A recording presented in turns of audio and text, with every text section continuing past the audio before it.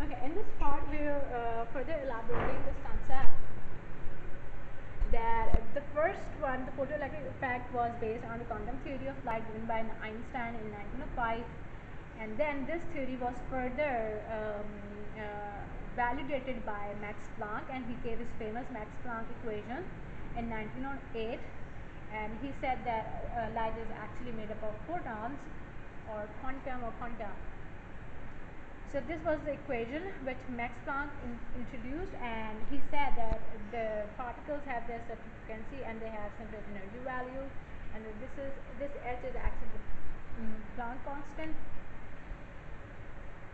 Uh, now let's have a look on a wave theory.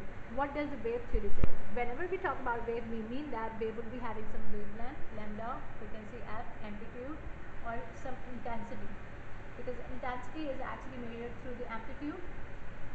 So wave theory of light that which was given by Maxwell uh, that says that light travels with a speed of 3 into 10 to the power 8 meter per second and it follows this wave equation c equals to lambda f and, and he proposed that light just like any other electromagnetic radiation it has uh, transverse nature electromagnetic radiation means that they will be having electric magnetic field in one plane perpendicular to magnetic field in another plane. When these two planes are perpendicular they uh, and they interact they form a transverse wave just like this. Transverse wave is nothing but um, a sinusoidal form of wave that has certain wavelength that has certain amplitude and amplitude as I told you it tells about intensity and has some frequency through which they were they are oscillating or traveling so transverse wave, how do we justify that light, light is actually transverse in nature or act, or in other words it is wave nature? Three main phenomena that are famous in waves theory or in optics or in, in, in, in, in uh, actually studying waves is diffraction, interference and polarization. So all these three important phenomena also uh, validate on um, light. Since these three phenomena can be applied on light, that's why light is said that it is wave nature.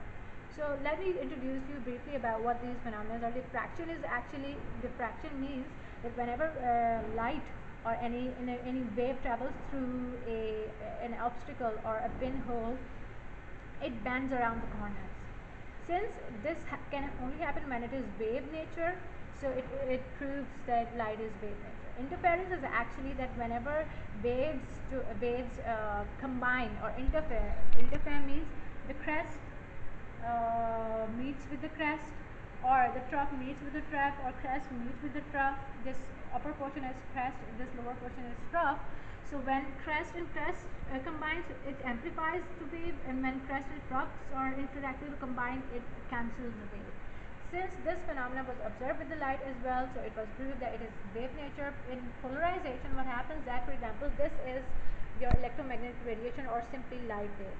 As I told you, it light wave comprises of electric field, let's say in the x plane, and this magnetic field perpendicular to it in the y plane, and the, the, these are uh, these are your magnetic field and this x plane is the uh, electric field. These two perpendicular fields make up this kind of transverse wave. This is actually at this point is unpolarized light. When this unpolarized light passes through um, some polarizer this this is actually this this region is actually a polarizer.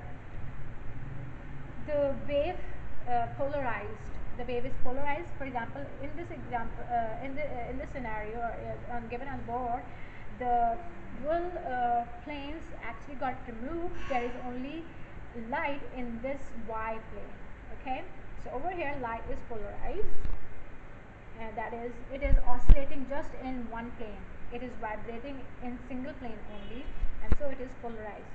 This polarization normally ha happens in waves but this was also proved with the light as well. So we are saying that light is actually wave nature.